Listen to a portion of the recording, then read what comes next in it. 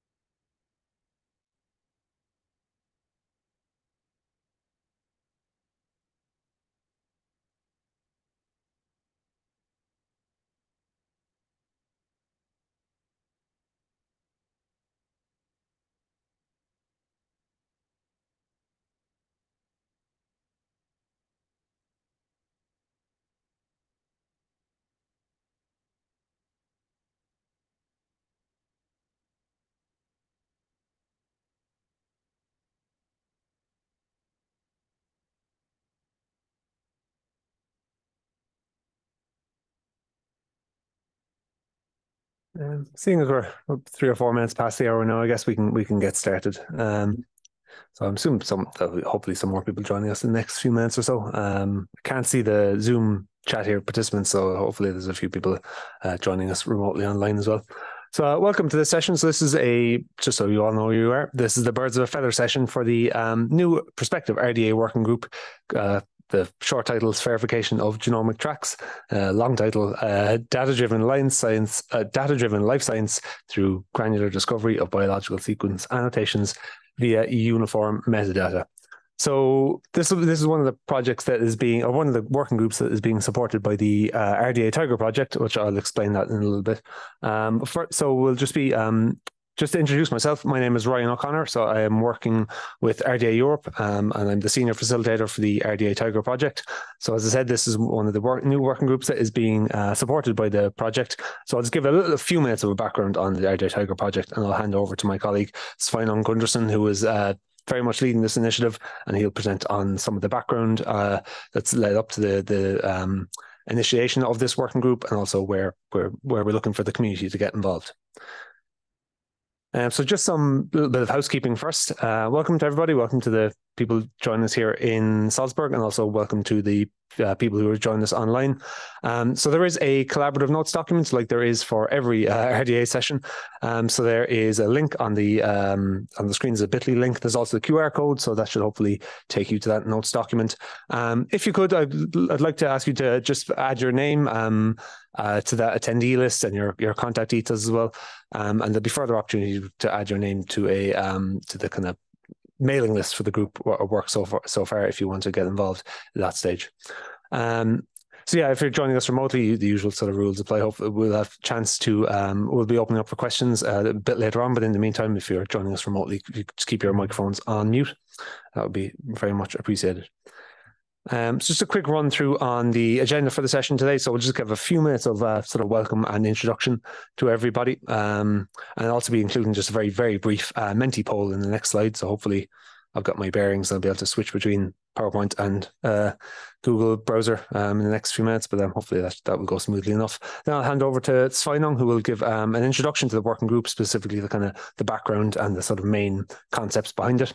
Um, we also have two um, lightning talk uh, lightning talks, uh, the pre-recorded uh, lightning talks. So I'll be playing those on the screen. Again, hopefully there'll be no technical glitches with that. Um, so two lightning talks, one from uh, Anna Bernasconi from the Politecnico di Milano, and the second from Peter Harrison, who's based in the UK at EBI EMBL. Um, we'll then have a few minutes of a discussion uh, following those lightning talks um, led by Sveinung. Uh, we'll be talking about possible links that people here in the room or people who are joining us remotely will have with uh, other um, other RDA other RDA groups, other um, initiatives or um, projects that they're working on, and then we'll go a little bit more detail onto the uh, case, the draft case statement. So as I said, this is a working group that's very much in its sort of initial stages, um, and we're in the process of putting together. Um, I say we very much Sveinung leading this initiative, um, putting together a case statement. Um, we're just going to give a few uh, minutes on that, highlight where we are with that, and where we're looking for community uh, input. And then towards the end, we'll just give a wrap up, very briefly wrap up uh, the session, and just kind of pointers on the next steps we'll be taking with the group. Um, so as I said, uh, as part of as way of introductions, um, we have a very very brief uh, Menti poll that we'd like people to uh, to to contribute to. So there is in the collaborative notes, there's a link to the poll. So you, if you scroll down the page on the second or third page. Also, if you can, you'll be able to scan the QR code on screen, that should take you to the Menti poll. Or if you just go to menti.com and enter in five three five four one four five four um, and that will take you to the survey. I will just br- very briefly switch to the PowerPoint, or sorry, from from PowerPoint to the um, Microsoft or to a Chrome browser. But uh, it, the the joining instructions for the Menti poll might go off screen for a second, but they'll be back on in a second, um, and we'll you'll be able to join it. So if you haven't managed to connect to it so far, so one second, just bear with me. Um, Menti is still on screen. That's good. Um, and I will just pray.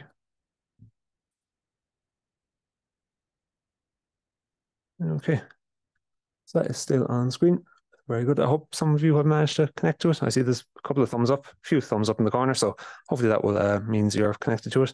Um, so the first question for the Menti is very simple. Hopefully people will be able to answer it. It's just where are you joining us from today? So obviously where people are joining us from Salzburg, but where are you based? Where's home? Where's your home institution? Where you where do you where do you work?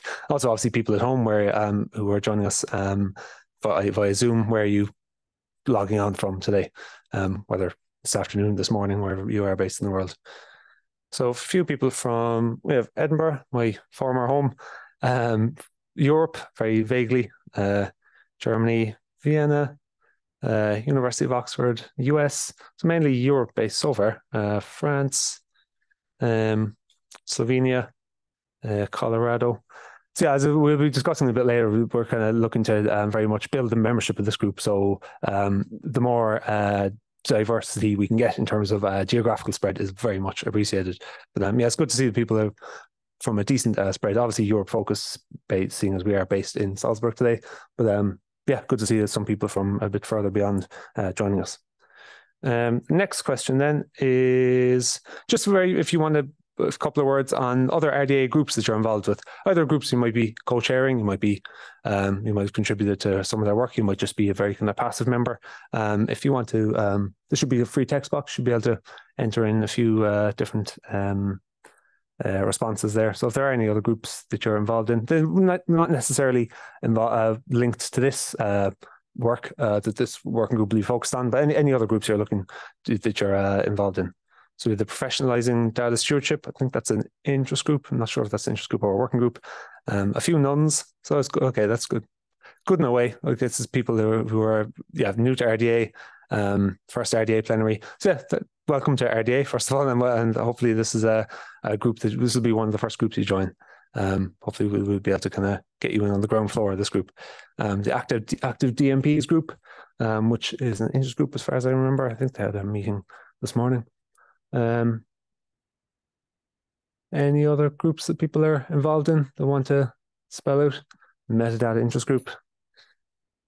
We're trying to again. We're trying to build uh, as part of the session later. We'll be looking to of discuss any uh, connections we can make with any other groups, um, either within RDA or uh, further afield. But yeah, it's good to see that some there's some uh, good spread of people who are new to RDA clearly, um, and some people who are more involved in uh, in uh, other groups. Final question then, it's very very brief question.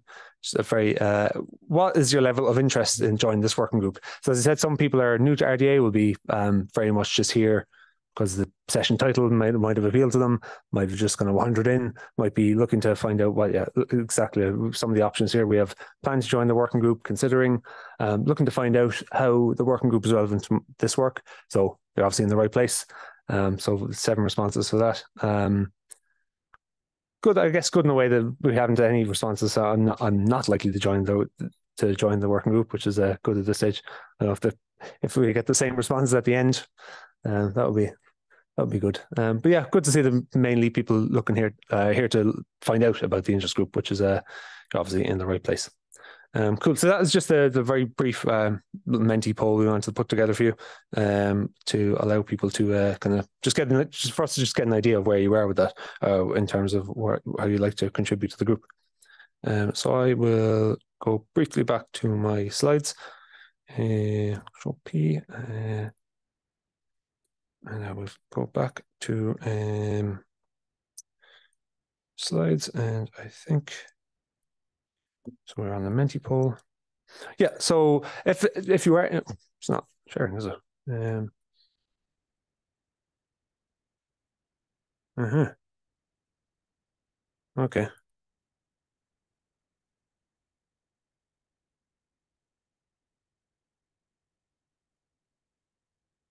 I get some help. I think I thought I pressed the right button.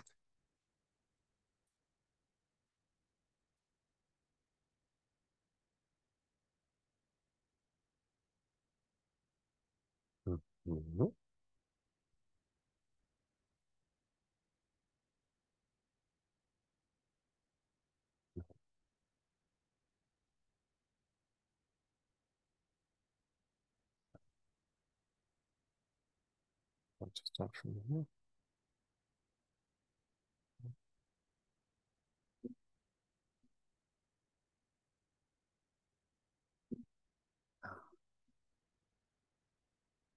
Hey, okay.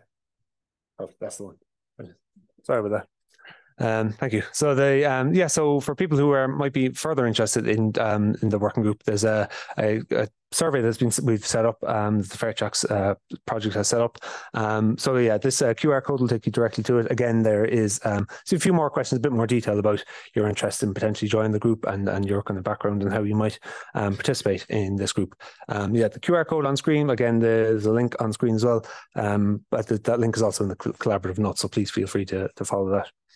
Um, so as I mentioned, this is this working group is one of the working groups that's being supported by the RDA Tiger project. Uh, so I'll just very briefly explain what the what the project is. Some of you might be aware, but most of you probably won't. Um, so this project is um, we set, started at the start of 2023, and essentially what we're trying to do is make it easier for RDA working groups to set up for them to perform their work uh, a little bit more efficiently, um, to take some of the sort of administrative and practical burden from co-chairs um, and help them with the, in terms of setting up the group, um, going through the various steps they need to follow to become endorsed RDA groups, um, and make sure that and to help them connect with the right people and make sure that the right people are connecting with them. Um, as I said, there's it's essentially what we're trying to do is lower the barrier to start working group activity. So co-chairs and other people who are more expertise uh, have more expertise on the topic of the working group can uh, focus more on that and produce some results, and we, we can hopefully um, take some of the burden from them. Um, so this project is running to the end of 2025. We're currently working with uh, six pilot groups, um, of, of, which uh, this ver FAIRification of genomic annotations group is one. We're also working with um, four or five other groups and at the moment who have applied uh, to uh, an open call. This uh, open call is rolling for the, for the uh, as the year goes on. So we have four um, four sort of closures for deadlines as the year goes on. Um, but yeah, if there's anybody who's any more questions about that, please feel free to contact anyone or get in touch with anyone who is a, one of these Tiger badge uh, Tiger uh, lanyards. Ha- hopefully happy to answer um, any questions you have.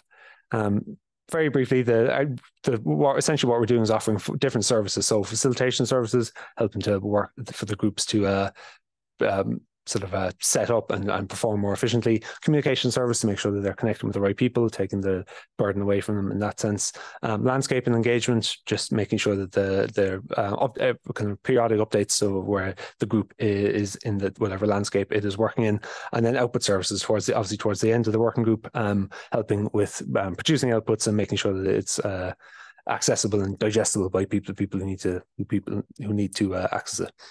Um, so yeah, as I said, um, please feel free to get in touch. We have a table downstairs, the RDA Europe table, um, and anyone who has one of these uh, lanyards, I'm sure they'll be happy to um, either direct you in the right direction or uh, answer any questions you have.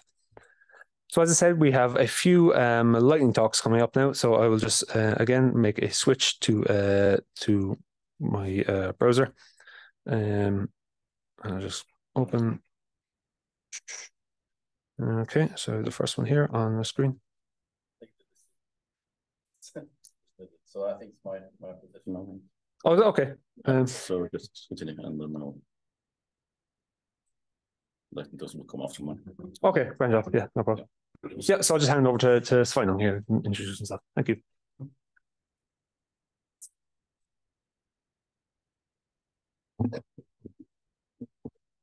It's a bit of height difference. Hello, everyone. Thanks for uh, joining uh, and uh, taking the time to find a place. That's uh, wasn't easy for me either. um, yeah, I, I haven't checked, but I think perhaps uh, might have won the competition over the longest session title. We'll see. Um, this one is a bit shorter, um, and we have actually changed the the name of the working group uh, since we submitted the, the application for for this session. So it's now called the FAIRification of gen- genome. Genomic annotation is actually there's a misspelling there. Uh, working group. So um, I'll start by having presentation on the more the background here, which is a project called the FAIRtracks. Um, and then uh, we will have the lightning talks, and then I'll see say a bit more about the current state of affairs and, and the case statement as it looks now. Um, so first of all, I need to talk about uh, the concept of genomic tracks. And if you're here the, uh, and have some background in biology, you might know this already, but many of you uh, probably do not have this background. So I'll say a few words about what, what this is. Um, so if you start at the sort of first image here, uh, this is uh, the DNA, this is a chromosome. Um, and as you can see, there's sort of this unrolling of DNA into various structures, starting with the chromosome, and then you have something called histones, which are small, small, small circles here.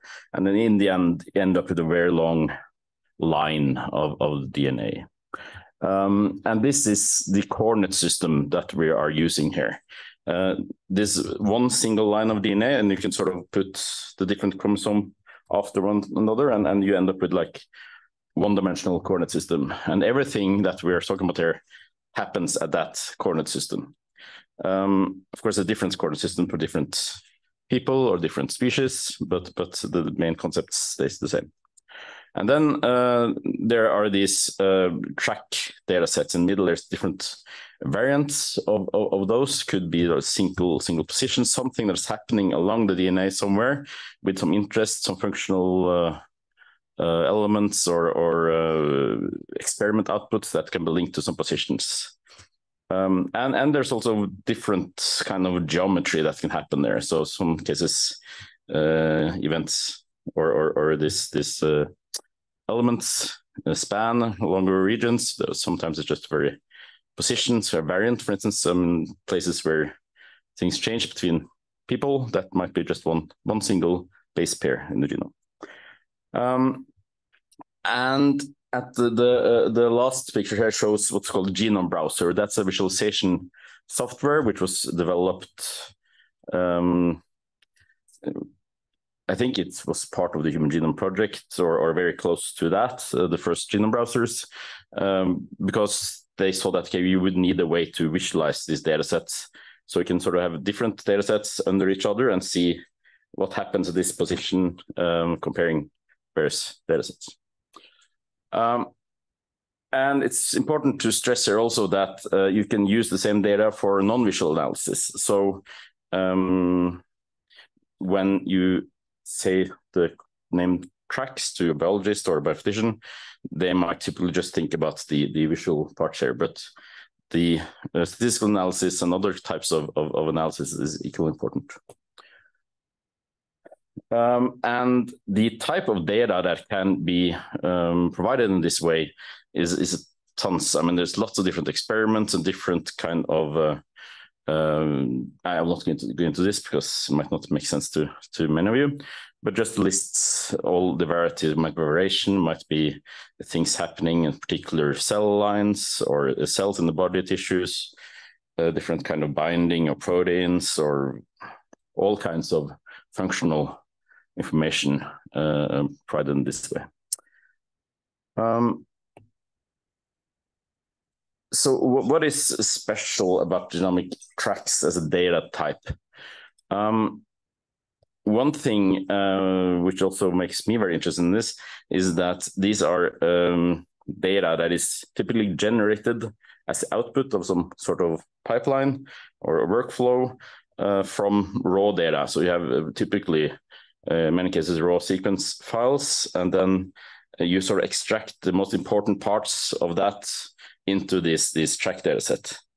So, so basically, in many cases, these are summaries of the raw data. So you can uh, use these to um, more easily get an overview of what this data set is, is about. What's the more important elements here?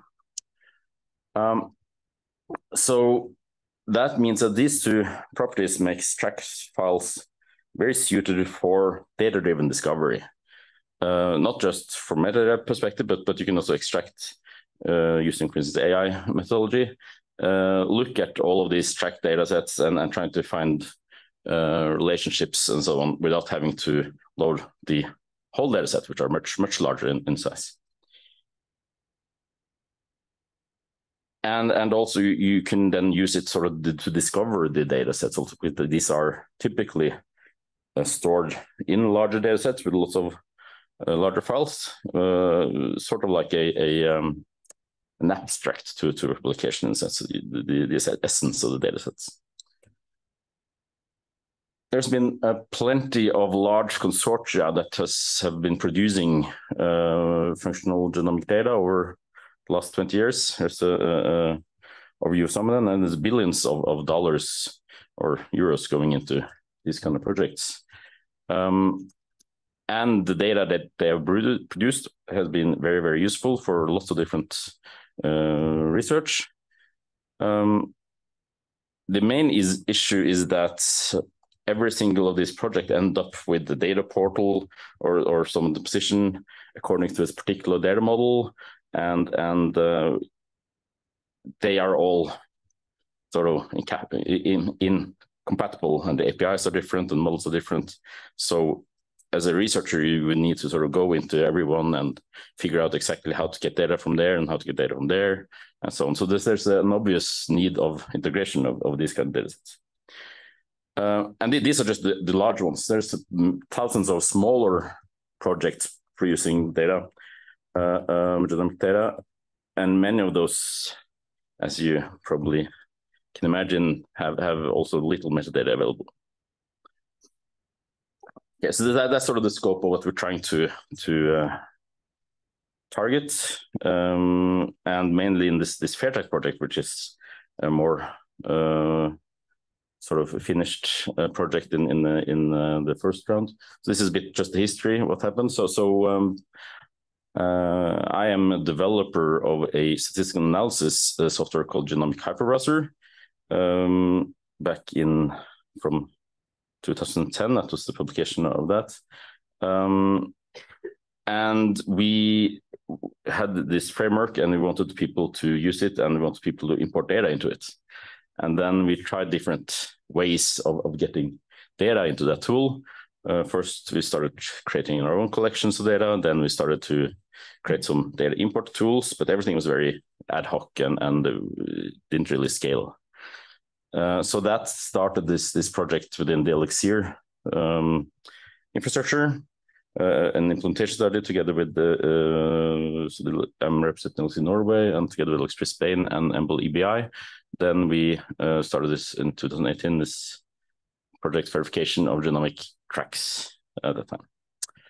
Um, the recommendations was, was published a couple years ago, and uh, uh, it was selected as a recommended interoperability resource, which is a, a uh, sort of mark of, of uh, distinguished mark in, in the Elixir system. Um, yeah, and we've been since then we we have thinking of how how can we uh, scale up from from that level and, and make this more global, get more players involved in this. Uh, and we also have done a bit of, of, of implementation on the side. Uh, so we happened into the RDA Tiger uh, proposal, thanks to uh, Peter Maccallum um, from Elixir. And now we have started to to to uh, raise interest and, and write up a case statement for this working group. the outcomes of the FAIRtracks project um, was a set of recommendations which were published, as I mentioned a couple of years ago, uh, looking into all the different uh, uh, FAIR principles, how that they can be applied to uh, uh, this type of data, uh, and including also implementation. So, so we have implemented also a set of, of services. And um, we also sort of mapped out a potential life cycle, how, how a, a um, this FAIRification process might look like. Uh, I'll not go into detail here, but but the most important part is is that the, conceptually we're thinking this is a sort of secondary data life cycle. So you have the raw data deposited uh, with the raw metadata or the sort of uh, initial metadata at a very detailed level, and then we want to extract the most important parts of that into a minimal schema and have a more secondary cycle focusing on the the tracked data or annotation data itself. We developed a metadata schema in the FAIRtracks project uh, around five main object types. Um, and that schema is, is designed in a way that it re refers back to the original data sources using uh, uh, identifiers.org queries. Uh, use we use ontology terms as much as possible, and it's based on JSON schema validation. Then, as I mentioned, we have a set of services that we delivered as a proof of concept, uh, something for augmentation, which is sort of making data a bit more human readable. Then we have a validation service, we have a search service, and also as a, a client using the API of that search service, we have that implemented in, in Galaxy. Uh, so that is already there and can sort of jumpstart this this uh, project here yeah, that was what I wanted to say about the FAIRtracks project. These are people that has been have been involved, um, and different institutes and funding sources of, of that. Cool. Cool. Yeah. we have, as I mentioned, we have two uh, presentations now, uh, pre-recorded presentations, lightning talks, about five or ten minutes. I will uh, each. I will try and put those on now. In two seconds. Yeah, I don't know.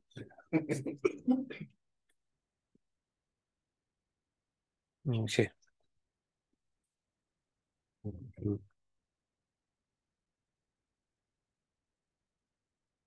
Mm. So what I'll do is okay, on the right screen at least.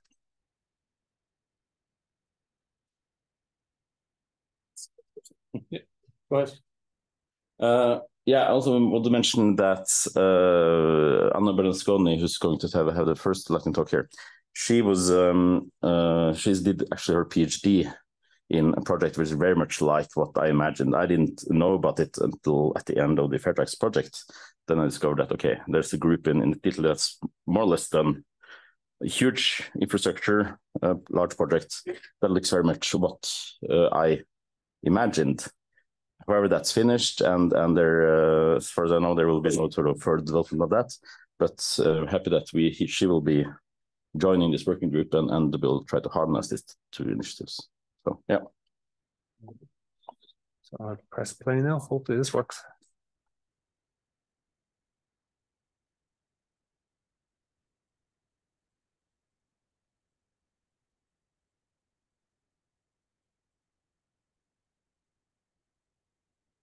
No sound. Yeah, no sound. Okay. Uh, will I put? Can I turn the sound on this machine? Will I press play now? Okay. Just rewind back a few seconds. And press play. No. Apologies. Sorry, everybody. Maybe. One second.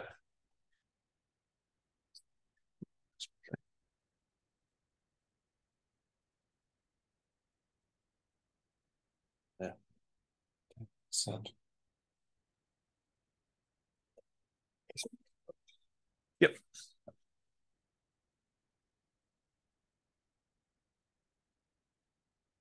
Hi, everyone. Um, I'm happy to be here uh, to describe our work called the Building an Integrative Repository for Genomic Data. This work uh, was part of the Data-Driven Genomic Computing ERC Advanced grant that was run in uh, 2016 through 2021, led by Professor Stefano Ceri.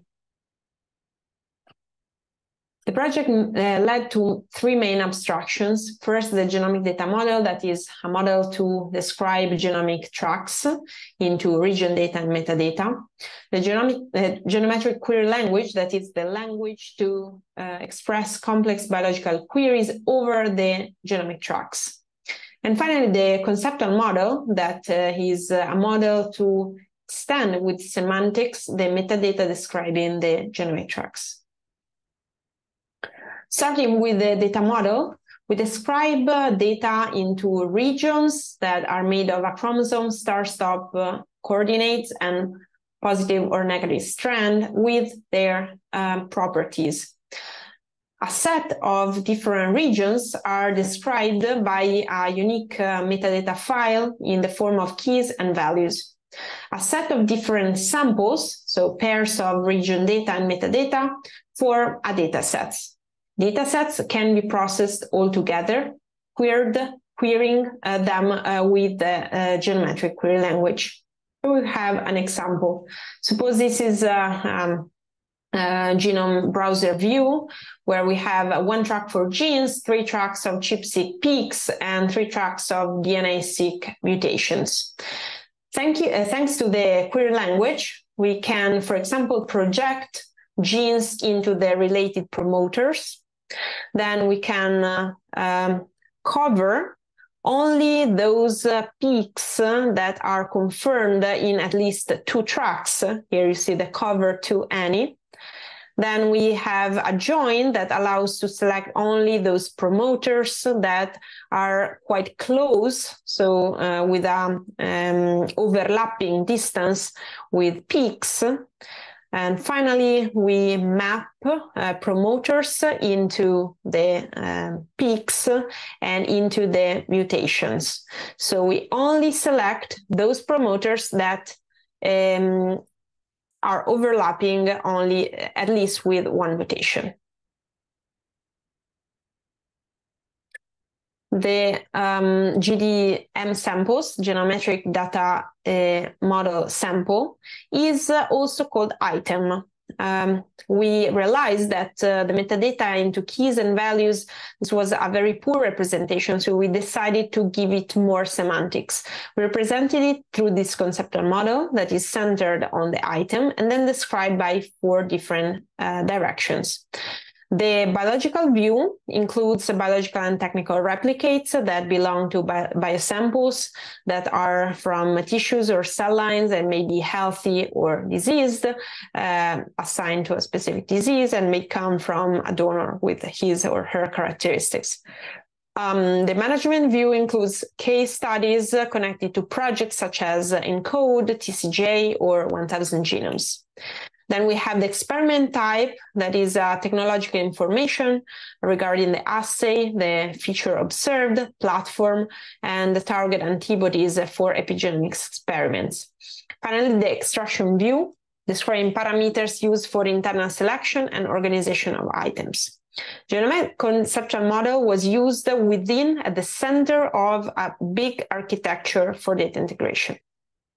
Metabase is called um, starts from downloading from important genomic sources transforming metadata into keys and values cleaning them removing redundant information and then transforming this uh, semi-structured uh, key value format into a relational database format where the database is designed based on the conceptual model that i described in the before slide then uh, a relevant number of attributes are also enriched, extended by linking them to well-known um, on, uh, ontologies.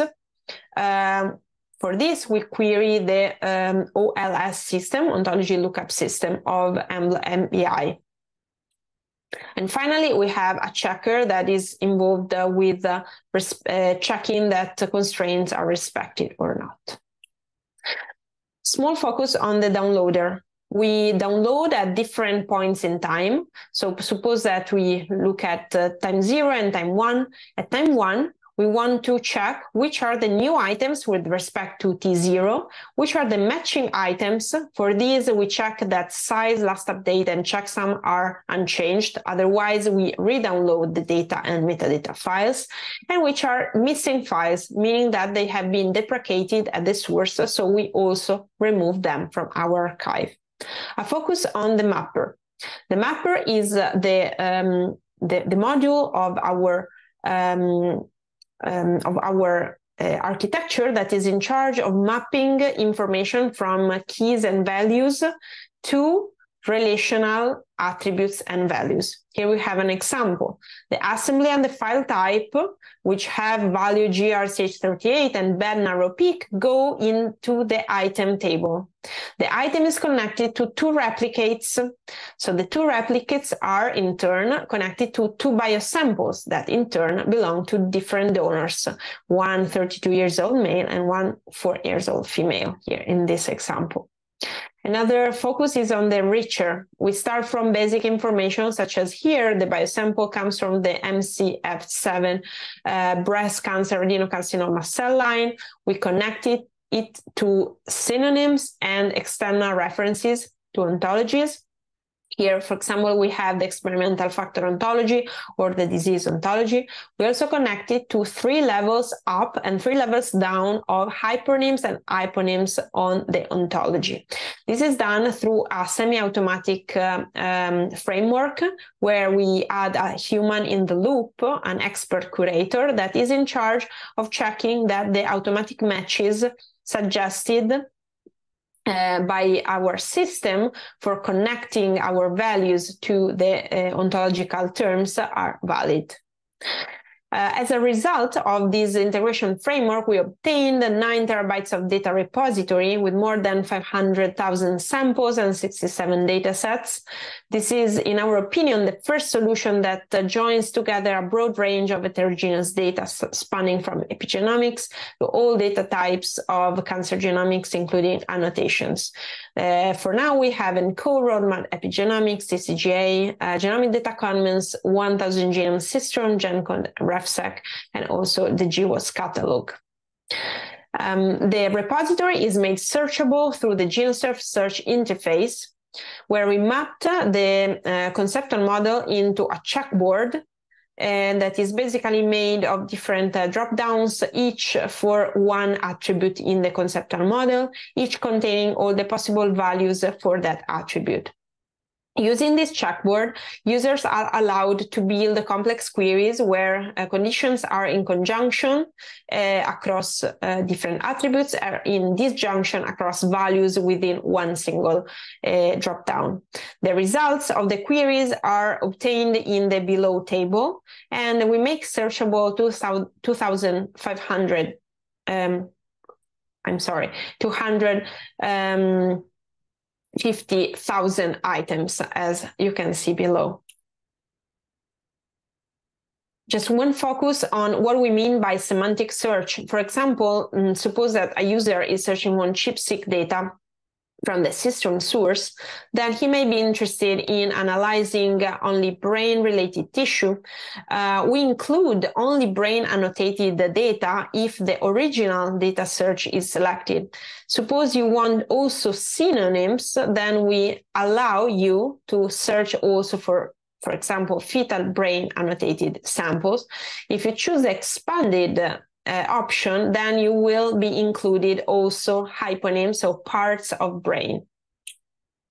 As a bird eye view of our contribution, so we are helping bioinformatician biologists and geneticists to avoid querying many different interfaces and systems where um, different consortia and data sources offer samples in very different formats.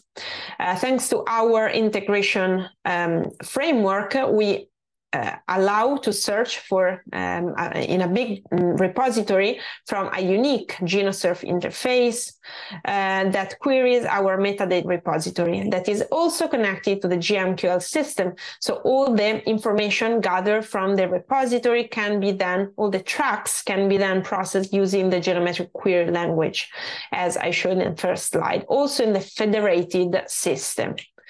So now the bioinformatician, biologists and geneticists only have a couple of points of entry to this environment. Thank you very much for your kind attention. I, I hope this was of interest for all of you. Thank you. Thank you. Uh, thank you, virtual Anna. uh, okay.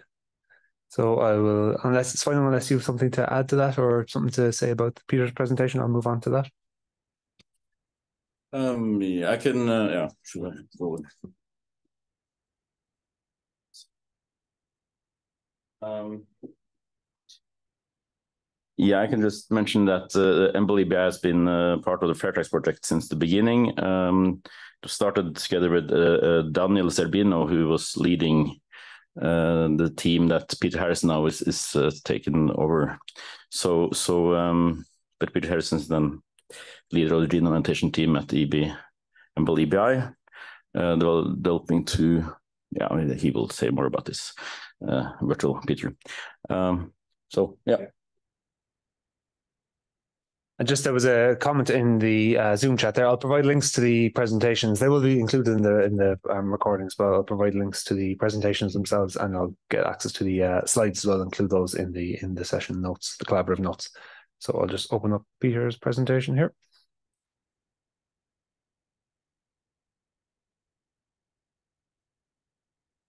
And uh, let's hope.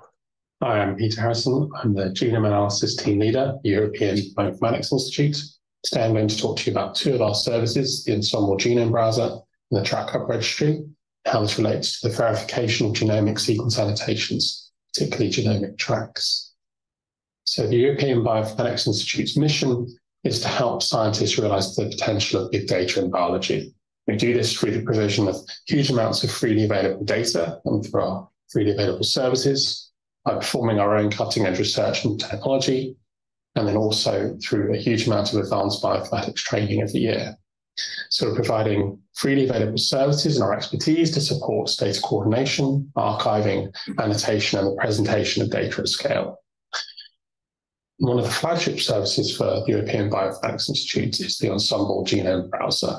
This is a genomics platform for enabling and accelerating downstream science. So responsible for the reference human genome assembly, but also supports our own annotation that we do across the tree of life.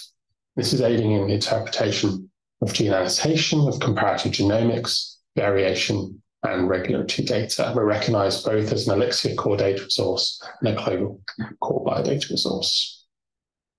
We're making uh, available and support key tools and data resources for researchers uh, to conduct their own research. We give everything that we do away for free as soon as it's complete and available. Um, but as well as performing our own um, standardized annotation and generation of gene trees and transcripts and protein structures and variation, we also present a huge array of community generated genomic tracks. We're really keen to continue to improve upon how these are standardized and reported and represented, um, both through our own genomics browser, but also globally. So a huge focus for us really is standardization across all of our different uh, reference uh, annotations for different species. So there's a huge challenge for us at Ensembl at the moment in dealing with scale. So we're traversing from, from several hundred to tens of thousands different reference genomes. And this is driven largely by biodiversity data projects, such as the Earth Biogenome Project, primarily through projects like Darwin Tree of Life and European Reference Genome Analysis, where we're going from typically having uh, 200 reference annotations um, to tens to hundreds of thousands as we scale to annotate um, all of the eukaryotic life on Earth. Also, in accompanying to the number of species, the size of these genomic data sets increasing is also the amount of associated variation and expression data people are submitting along with them. And then this also is increasing the standardization and, and fair description challenges around the, both the incoming data sets, but also around all the associated tracks that people are going to submit um, alongside each of these different species, and also um, the provision of community reference genome annotations. So we're going to be dealing with uh, a huge number of different community tracks and different gene genomic reference annotations. We want to be able to place in the context of our own standardized annotation for each of the species across the tree of life. This can be uh, really helped through the use of standardized identifiers and with file format developments. And really, we're, we're trying to play a key role in the development of standardization of the GFF3 format as one of the future ability to people to be able to submit decoupled annotations um, to public archives. And one of the ways in which we're trying to, to that we've been supporting uh, so far in, in, the sort of standardization of, of genomic tracks for presentation in genomic browsers is through a service called the Track Hub Registry, which is really this collection of publicly accessible track hubs that have been submitted by the community. Its goal is really to allow um, the community to, to advertise the track hubs that they have, to make it easier for researchers around the world to discover these, and for ourselves um, in our genomics platform to be able to represent these uh, to the community so that people can find and display their own genomic data and the genomic data of consortiums that they're interested in alongside our standardized reference annotations.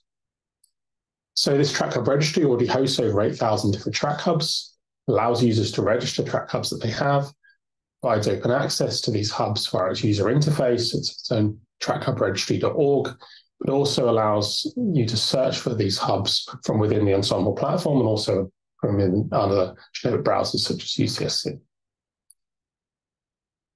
So really what we're allowing people to do is to search these hubs through, through keywords, allowing additional filtering over things like species and assembly and hub and data type. But really we're relying on and really need better metadata. This is where um, all of these efforts around the FAIRification and standardization of genomic tracks are so important, and particularly in, in encouraging the community to provide and be able to provide better and standardized metadata around these hubs to make them more discoverable and more usable within genomics platforms. So we also provide detailed views of all of the tracks that are available. We're running health checks to make sure that the files and the, so the underlying uh, tracks are still available, um, providing all of the links to the data resources, and then um, providing a range of different links out to different genomic browsers so you can view each of these track hubs um, in uh, Ensembl, UCSC, Vectorbase, and so on. But really, one of the key things for us is, is allowing us to then integrate all of these different tracks within our own Ensembl uh, genomics platform, allow you to then attach, um, search for and attach these tracks to the standardized reference annotations that we're presenting and view them on alongside each other and browse them in a genomic context. Um, so we have a, a, submission process for you to register uh, new track hubs that you have to update and then, then remove them as required, um, both through the, the web interface, but also through REST APIs if you're registering a large number of different tracks. Um, we perform multiple checks during the submission process to try and ensure data integrity and interoperability, but there's still a huge amount that could be done here as a with the community to try and improve the FAIRification um, of the tracks that we're presenting. But really, so what we're really needing to do through um, different working groups, such as the one that's being proposed here with RDA uh, Tiger, is to Ensembl and Track Registry really keen to improve their metadata descriptions around these tracks and really around how we can then make these more discoverable, both within our own platform, um, but also for, for different um, genomic impact platforms and downstream use. One particular area of interest for, for Ensembl is the emergence of this decoupled annotation. So people being able to submit GFF3 files um, for their own um, community-based annotations of all of the different reference uh, genomes that are becoming available through the biodiversity projects under the Earth Biogenome Project umbrella, and also in agriculture to really try and have an array of different uh, available community reference annotations that can be presented alongside our own standardized uh, Ensembl annotation as well. So really with that, um, I was sorry if I couldn't join you today at uh, the event, but if you have any questions about the Ensembl um, Genomics platform or about the Tracker registry, do feel free um, to email me at peter at. And I'd like to acknowledge the, the huge effort that goes into the um, generating the Ensembl uh, standardized annotations on our Ensembl Genomics platform and uh, our various funders for funding our um, research. Thank you.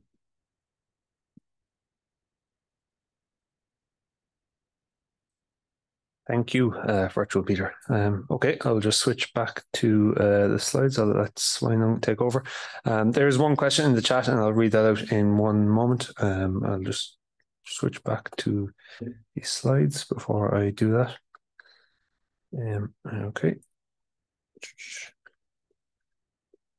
Um, one moment. I'm on the right page here. Yep, and I'll just switch ahead. And there we go. So that's the right page. Give me one sec. I'll just read out that question from on the chat out loud, just so everyone in the room has a chance to listen. So, uh, uh, yeah, so the the question in the Zoom chat is from uh, Paulette uh, Leiby, who has said that um, there are two genome presented, uh, two genome browsers presented. Um, asking why are there two, um, and how are they distinguished? And Paula has, has said in the chat, um, she's not a biologist, so it's fine. Yeah, right. So um, there is uh, there's a number of genome browsers in in many uh, different ways.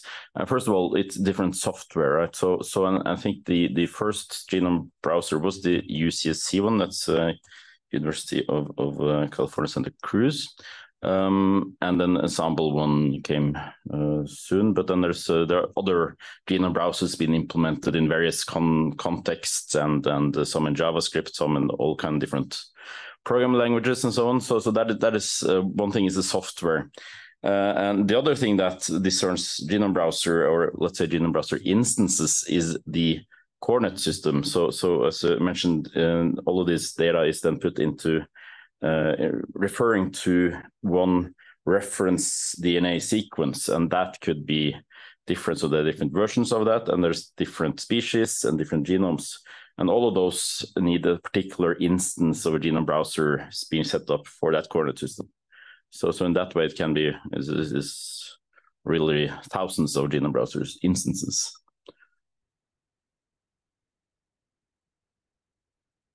Um, any should have questions from audience here? No, or no further questions at the moment. Um, Paula has said, uh, yeah, thank. Okay, thanks. Yeah, she gets it. Um, yeah, if, if, anyone else who's um in the room wants to ask a question at this point, please raise your hand. I'll hand over the microphone. Or if anyone else in the Zoom uh has any questions, um, I don't see any questions in the chat or uh in the room. So um, I think we'll move on to the discussion around the case statements. Well, over to you.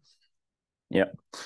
Um, so in the agenda, there was a point about registering interests. So we are skipping that in, in due to time, but we will, of course, have come back to that in the discussion after my presentation, so that anyone who's interested or have some some some other other uh, groups or other um, initiatives uh, that want to raise raise their interest in, in this, then please do that afterwards. Okay, so so. Uh, we've had a few kickoff meetings and uh, uh, discussed this with a, number of people, and there has been quite some interest. Uh, I'm glad to say that. Um, and we are now in the process of writing up this case statement for the new working group. Um, one of the uh, issues that we have had to tackle um, is the different ways of, of describing in this uh, type of data. Uh, there's a Scandinavian proverb called, uh, or saying that the dear child has many names. Um, and this has been very confusing when you're actually working in the field, as I've been doing for a number of years, is that um, seems like every new publication tries to invent their own uh, name for this type of data, especially for when we talk about non-genome browser and non-visual analysis. Um, yeah, so here are some of the uh, terms that's been been used. Um, after some discussion, uh, the current suggestion is that we will call this genomic annotations. Um, in particular, because tracks typically people think of just visual analysis for the word tracks, and we want to make sure that we also include uh, non-visual analysis. Uh, and then there is the concept of what's called the genome annotation, which is confusingly uh, almost the same word. Uh, that is tracks in a more limited context. So, so that's when you are uh, putting together together a new uh, assembly or a new that would be the new reference genome. Um, and then one of the initial things that you typically do is then to figure out, okay, where are the genes here and where are the other features of interest? So the initial exploration of, of a genome, and that is called genome annotation. Uh, uh, and this particular process, there's tools for that, and there's a particular file type called GFF, uh, which is focusing on this part. Uh, and then, then there's lots of other different types of data, which are also then uh, genomic annotations, which are, which are not the genome annotations. So I'm I'm sorry for the confusing nomenclature. Um, trying to do the best we can with, with the terms. um, yeah. So there seems to be three main use cases that has emerged from the discussions we've had a couple of last couple of months, um, and I'll show go through them for you. And the, these are the ones that's that's now in in the case statement. Uh, the first use case of this um, that we will focus on is the issue of collecting uh, data sets to build AI models. And then this is typically uh, biomedical data sets uh, due to the fact that most of the data is of biomedical nature um, and and also the methodology development is is in that context, but but it can be also in, used in other contexts. Um, and but but, but this this uh, sort of is, is the newest and and the most cutting edge use of this, but but you don't have to do data modeling AI AI methodology to um, make use of of the the solutions that we're creating in this use case though. And and there's a number of analysis tools being developed over the years. And as you see here this is a um, the Genomic HyperBrowser was early early on here. A number of these tools and many of these have had the same problem that they want people to get some data into the system so that they can uh, do their analysis. But but um, everyone has to try to figure out uh, uh their own way to do and do that so all, all of these kind of tools would would be sort of evolved in this this use case, but with the AI methodology on, on, on the top here. Um, a little bit a side note, but uh, it's a bit of interest. So, so interesting to me. So this is an old slide um, from the Genomic HyperBrowser project, and we were thinking of use of this in uh, AI and other kinds of solutions for a very long time. And the way we thought of that uh, back in the days is to think of this whole uh, um, coordinate system like, okay, you have this one dimensional genome, but then you can add a number of, of tracks, and then you have all the other metadata fields, so cell types and genomes and all of these, these things. And this creates a huge hypercube of, of, of data that you can have different views into and so on. Uh, so uh, one month ago, I was in, one month ago, I went to the uh, GA4GH, is a Global Alliance for Global Health um, plenary in, in, in San Francisco. And I uh, saw a slide on uh, using um, AI based on this kind of data. And had the slide more or less exactly the, the same here. Uh, and the the uh, uh, so this was from from Anshul Kundaje and and the, the tools that he was developing is very impressive, and that just says something about the cutting edge of this and, and the need for for data and usage of the data. Okay, so that's the first use case. Um, the second use case that he, we have uh, uh, looked into and have raised some interest for is uh, um, what I said, the more limited aspect of genome annotation, meaning the the initial identification of genes and important uh, things in in in uh, in new genomes. And there's a number of new genomes these days. So there's a biogenome uh, or biodiversity projects all all over the place, and uh, they are all sort of or perhaps not all, but very many, many of them are collected in this umbrella called the Earth Biogenome Project and uh, in the end it is planned to to sequence uh, millions of genomes. And for each of those genome there will be this initial annotation. Um, yeah i said some of this. Um, uh, typically sometimes these are created from computational workflows. Sometimes they're manually created. Um, and there's a very new report from this summer from the Earth Biogenome Project stating some recommendations on the metadata that should be provided to these annotations, these initial uh, annotations. Um, and they also said that there is a great need for metadata standards for this. There is little um, infrastructure around the annotations themselves. So, so what we are aiming for here is to uh, work on establishing the genome annotations, I think in particular of these GFF files, as a fair object in itself, as, as, as something that you can have a net files that you can search for and that you can uh, uh, more easily integrate with. Um, today, it is often difficult for for uh, people to publish them at all in in uh, existing repositories. There's some work to improve that, uh, as, as, as Peter Harrison is, was mentioned. Um, but but still, this is uh, in infancy, and and we are aiming to sort of be a more of a uh, metadata laboratory, sort of for this, figuring out what kind of metadata could be usefully applied to this data set and, and what kind of infrastructure we can build around this. Um, yeah, so that's the second use case.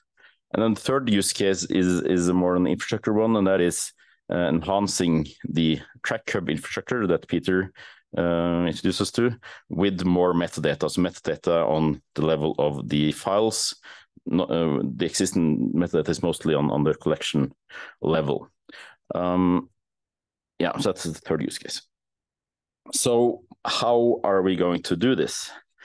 Uh, and this is the current plan, and and this is a set of recommendations uh, with the implementations um, to to create a, a setup that, in most cases, would would solve the the most important challenges here. Um, the first, as we mentioned several times, is the metadata schema. Um, we have the FAIRtracks schema, and there's uh, several other schema uh, schemas also from the GECO project and and the International Human Epigenomics Consortium is also involved here, um, and some others. So, so first we will try to harmonize the existing schemas. They're not that different, so so it shouldn't be that much work. Uh, and then we will expand on that with what's needed by the use cases. Um, and uh, we're not sort of aiming at uh, solving everything and having uh, fields for all thinkable metadata. These are fields for the most important things that the users would use for discovery and, and, and search and so on. And then we can link from that to the original metadata, which will be more full and more, more also more diverse. Um, yeah, so that would be the, the uh, first recommendation. Uh, the second, and that's probably the most important part here, is is the uh, metadata transformation flows or, or mapping. So we have all these different sources and we want to make them into one harmonized uh, collection. And how can one do that in a, a, maintainable way? So I'll say a bit more about that later. Um, the third one would be uh, once this data is, is harmonized, then you would we would have a way recommendations for storing them. And what we are aiming for is to to recommend storage persistent storage of the metadata in harmonized form uh, in uh, public repositories like Zenodo, uh, where they can be live and harvested by anyone in the fully public uh, in its original uh, form. Uh, and then with PIDs, so Zenodo does provide DOI, so that's a sort of simple way to provide that. One could also think about the ways to to make more um, file level uh, net files. That yeah, I'll say more about that. Uh, and then the last thing is a standardized API for search. So the actual search services will not be part of the project because there are already several represented here. But uh, uh, if using different search services, uh, they have different APIs, then you're sort of back to scratch. There we haven't really solved anything. So we need to harmonize the APIs also, and then we can have different search services providing the same API. Okay, so say more about uh, two other recommendations, number two and number four. So two is about getting the data into proper shape. and uh, we have identified there's a series of general steps that you typically need to to do and and the problem is how can we uh, first of all sort of generalize these different steps? Can can we not have to rebuild everything from scratch every time? Uh, how can you sort of scale up? So some of this this I mean, even even if it's metadata then they're uh, huge uh, collections of metadata that needs to be parsed and, and harmonized. So so there's a scaling issue here uh, and you want to sort of automate that when there's new data, you want to update that, or, or, or and also what happens when the the metadata changes, uh, the source metadata. What about when the schema change because you want to to evolve it, right? What about if the, the ontology changes, new version of ontologies, or perhaps you decide to switch the ontology to something else, and and, and uh, different sort of mappings they also would evolve. So so so there's a very much thought I need to go into the concept of maintaining a changing infrastructure. And I think this is the most important part that makes data stale after a while. And there's different initiatives, and uh, this is the most important part where I think they haven't scaled enough for for for change. So so so this is an important part of, of what we're trying to do here. Uh, we have a Python library or data flow framework building on um, industry-made infrastructure called Prefect um, that we aim aim to use to to uh, help solve this problem. Um, and then we'll um, make use of the experiences, uh, especially from these uh, GenoSurf and IHEC projects, um, to try to build maintainable pipelines. And then about the PIDs, and uh, so that is uh, important this this uh, conference, I think. Um, yeah, so I mentioned that the DOIs are probably easily supported, so so that's the sort of low level, low hanging fruit. Um, there is a upcoming GA4GH standard called sequence collections, and I could sort of talk about that for an hour, but I will not do that. But basically, this is a way to uniquely identify a reference genome, um, and this is a, a content-derived identifier. So, so basically, uh, whoever generates the identifier, if they start from the same reference genome, they would end up with the same identifier. Um, so this is something that we plan to adopt to to to pinpoint exactly what are the coordinate system that the dataset refers to, and also which genome browser instances are available that can show this. That's also a use case for that. Um, so one idea, and, and, this might be out of scope, might be too difficult here, but but at least something that I will personally would like to look into is can can you do the same kind of content right identifiers for the actual genome annotations themselves? Can say that okay, if you have uh, uh, this file, then you'll always end up with this identifier, um, even though it's represented a bit different ways. Uh, some words about collaborations and adoption. So, so this is very much a uh, we're trying to solve a particular problem for the particular large large infrastructure. I mean, there's large lots of data sets here, but still it's it's focused on on genome annotation data sets. Uh, and we want to do the best we can with current knowledge and recommendations and standards. So we are very interested in uh, collaborating and adopting outputs from from other places, so that we don't have to invent everything here. Uh, so as, as, much as possible, if if there are existing solutions that we can sort of uh, adopt and easily make use of, uh, that will help help build this, then we're very interested in that. So some some of the working groups or interest groups that uh, we have identified in RDA that might be relevant. There are some uh, groups in the Global Alliance for Global Health um, that's very relevant, and there might be some others that we're not aware of. So please let us know if you know about something that's not well listed. If if you can elaborate on, the things that listed or know about something else, then very interested about that.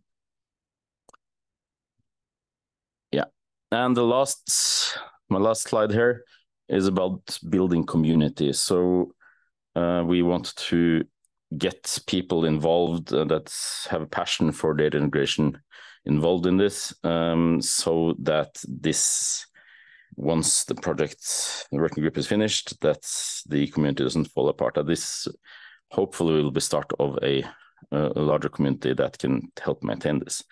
Uh, if not, then it will sort of end up with a stale stale solution as several other initiatives.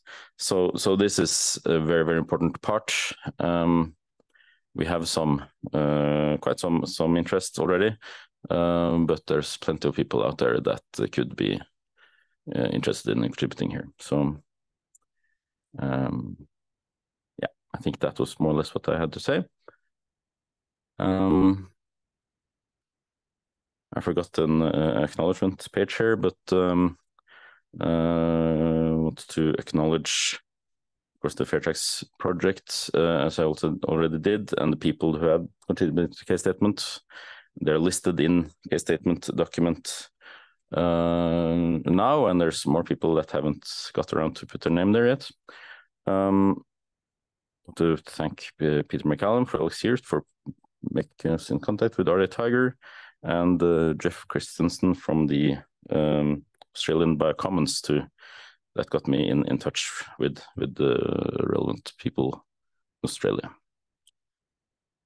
Yeah. So moving on to the discussion or comments or uh, questions part. Yeah, I guess I so. We, we don't have any. So yeah, I think we reached the end of the slide. Maybe there's one more slide for me, but um, we can we can have a quick look at that towards the end. So, it, it, does anyone have any questions on anything? I know it's quite probably quite a lot of information from people. So I can't see any questions in the Zoom chat so far. Um, but is there any questions in the room? Yes, I see a question. So, um, for those people on Zoom, I'll just hand the, the microphone over. Um, so to when I, when I hand the mic over, just introduce yourself so, so for the viewers at home. And uh, yeah. There you go. Yeah. So thanks very much, Sveinung. Uh, Peter Maccallum from Elixir. So, uh, so I have a question. You've talked about the the interest from the community, and uh, there were kind of two different directions in the examples that you gave. One is towards, I guess, sort of single cell and cancer and and that multidimensional matrix on a single species, and one is is the cross species um, harmonization which of those two groups is is biggest and and and which one is kind of driving you in in this process I I mean in in the context of the working group now, um, of course I I don't know which are biggest in the global scale of things uh, that you probably know better than me. Um, I think they're quite even handed. Um, so I think there is there is uh, quite a bit of interest in the biodiversity uh, uh, aspect because uh, there's not so much work being done in this. Uh, so so we we seem to have found a, a area where where there is a need. Um, um, but there is uh, also plenty of interest from from uh, medical and, and and that field. So it's a bit hard to say right now. Um, there's interest for both. but I, I, perhaps slightly more from biodiversity if, if I would be for the current set of people. But I mean, it's not so many people that will tip the other way. So, and and is there is, is there a strand working on the the mappings between the coordinate systems when you go species to species is is that part of the definition? yeah so there's not so much in, i haven't talked to people who are interested in, in the downstream analysis of that and, and the comparative genomics which you're aiming at. So so these are most people that are producing uh, uh, genomes in biodiversity projects and they are seeing a lack of they don't know where to put the annotations or how to how to manage them in a good way and and uh, there is of lack of metadata there and, and, so so that's most mostly from the producer side for now. Uh, but there's obviously a downstream part there also. Thank you. Are there any other questions from anyone in the room? On anything to do with the focus of the work the working group or the Has presented so far on the case statement. Um, I'll just double check the uh, the Zoom room. There's something in the chat. I'll just double check what the question is. Uh, okay. Nothing in the chat so far. Um, there any any final takers for the anyone to put up their hand? If, uh, another question, perfect.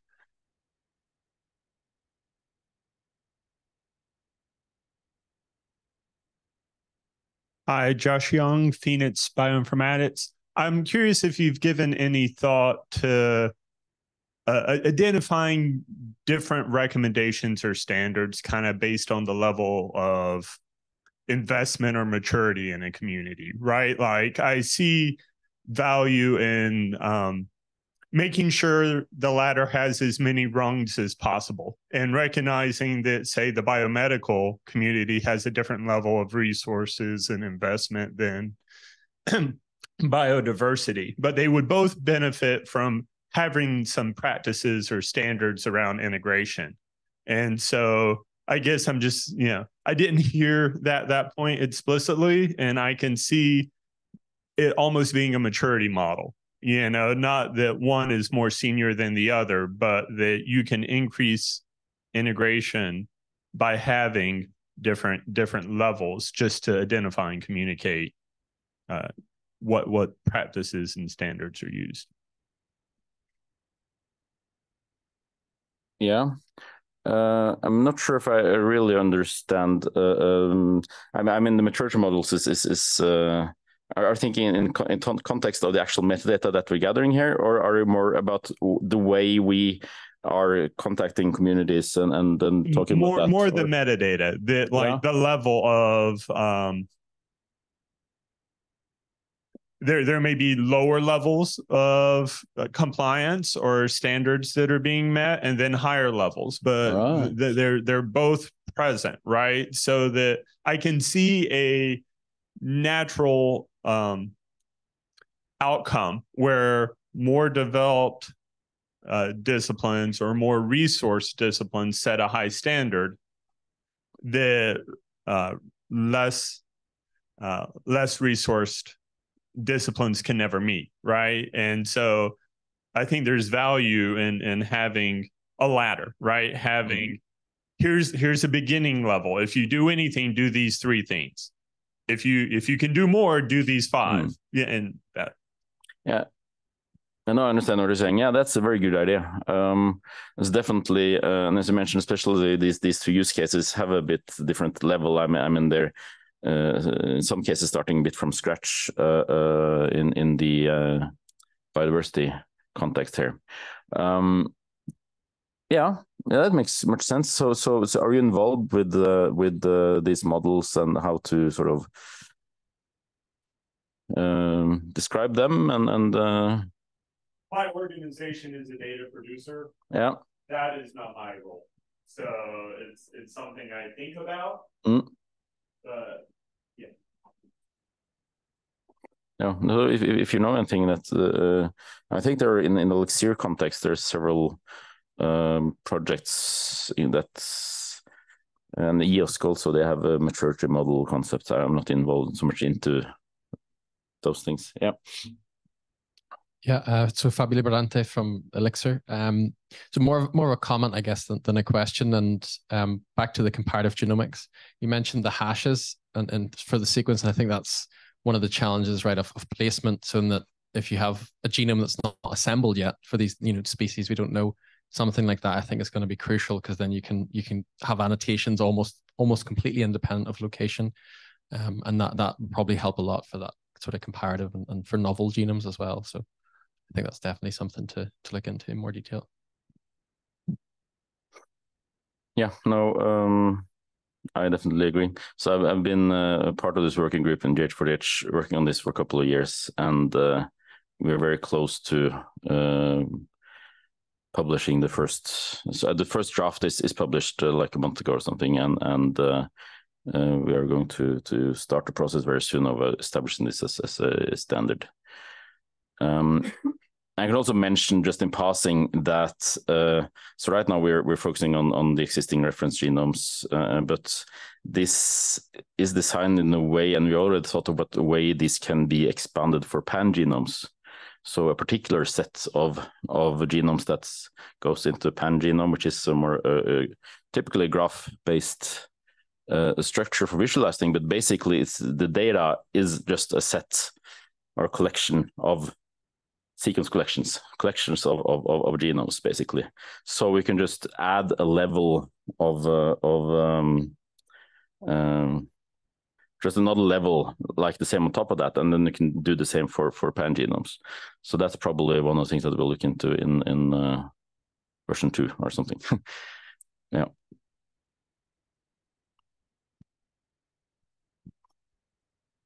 Any other questions? Another question. To you, Vladimir again maybe just a last note uh, i don't know much about uh, about genomics but i do about api harmonization and consolidation. And uh, if you start with uh, with the uh, open open api specification and developing and versioning from uh, from the beginning. There there are a lot of tools like swagger for documentation online like more and more developed collections that uh, practically in some way of test driven development uh, uh, kind of drive and and version it and that is that is good. So that, that there you will probably and in that maybe we can support if we find uh, if we find some time but one question is uh, uh, could it happen like it happened in our different use cases that uh, if I understand well, uh, uh the APIs are going to be driven by ontology or by the expansion of the terminology and so on.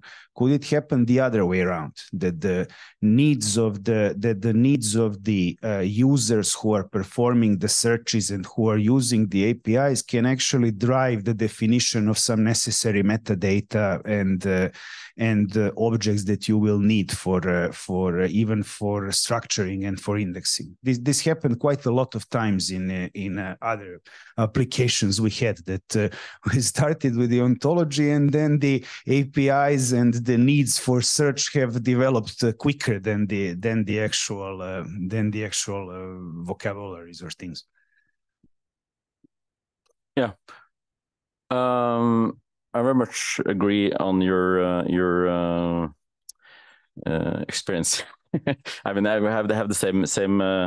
Uh, sort of experience as a user because this the whole project project started as a downstream user of the data and and uh, uh, what was provided on from the different consortia is in many cases not what you would like to have been there as a user, right? Uh, so this whole project is a bit bottom up in that way that we are trying to make this as usable as possible. Uh, but but then I mean we're not uh, necessarily the perfect users, so we're also interested in getting that kind of feedback from uh, other uses, and that's also a reason why I mean. So yeah, I didn't say much about that, but uh, we sort of try to think about different roles that you can have in this kind of community, and one of the roles is, is the end users, uh, and there it's very important that they're there, even even though uh, they sort of know nothing about what happens on on on, on top. Then having people that would uh, like to use this uh, included in the work group is very uh, useful and so that because then you can uh, drive the end result make sure that what we are producing is actually useful. Thanks everybody. Is there any other questions or comments from anyone in the room? Is there anything in the chat if on the zoom chat? Um nothing so far Okay, I think we're coming towards the end of the session. Um, so there is just one. I mean, I did mention at the start of the uh, session that with this one of the groups that's being supported by the Tiger Project. Um, so yeah, so I, I know the last few minutes of every session is usually just to kind of wrap up. Okay, here's what we've done go on your, your break. But I'd just like to kind of reiterate. So we are at this is one of the groups that is being supported by the Tiger Project. Um, so we are at the stage of very much at the initial stages, the kickoff, um, putting together a case statement, um, which is linked in the in the collaborative notes. But what we what is vital and what I can't really sort of uh, not uh, em- like can't overemphasize at this stage is that we do need at this stage some community buy-in. So if there's people here who feel that this work is is some way relevant to their work, to their fields, to their um, to their disciplines, um, we really do need people's buy-in at this stage. So uh, so far, this um, initiative has been completely driven by by, by Sveinung, who's written well about ninety five percent of the, the case statement so far, but by uh, according to the, the various RDA, RDA criteria for different working for working group setups, we do need other people to contribute and to be able to and one just to meet the different the RDA criteria, and two obviously to make it more applicable. Uh, where it's it's um, the idea is to make it sort of uh, to focus on different use cases across different domains. So we do need buy-in for, for that. Um, what I'd like to ask people is so to to access the case statement to please review it. Um, and there's a table at the bottom of that. Please add your name and contact details to that um, to be sort of included with the group uh, in the group as it goes forward.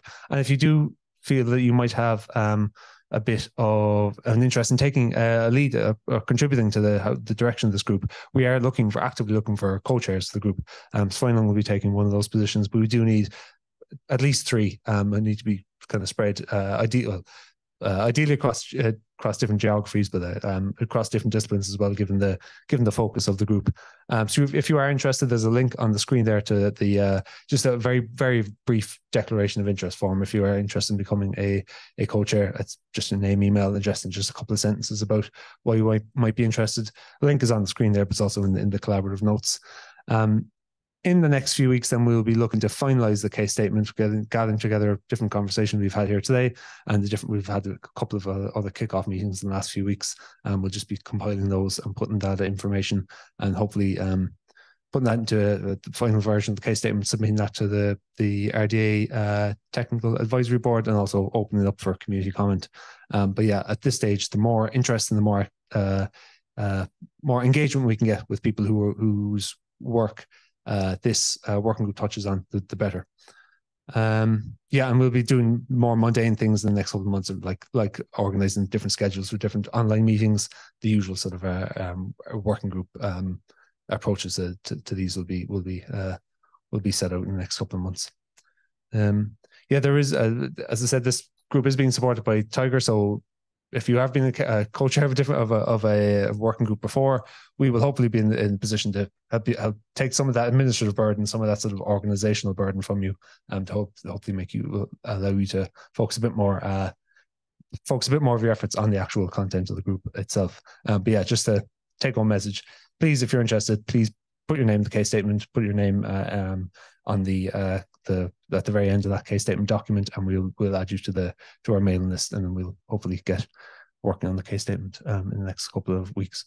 So, uh, any final words to Sveinung to wrap up? Uh, yeah. So so um, since I forgot to put the acknowledgement page, there is one acknowledgement that I forgot to. uh, put there, and that is for the RDA Tiger and and the work with Ryan and and uh, uh, the others from the group that's been va really valuable. And and uh, if you're interested in in um, applying for help from RDA Tiger from other working group or project or interest group, um, then please do so because uh, I could not have done this alone, even though I have written quite much of the text alone. It's not a one one man job at all. So thanks a lot. There's any any other final questions or comments in the room, there's nothing in the chat. I guess we can end the session exactly on time, which is a, which is probably, I hope that's a good sign. Um, yeah, thanks everybody. Thanks for joining us, and thanks everybody who's joined us in the Zoom room as well.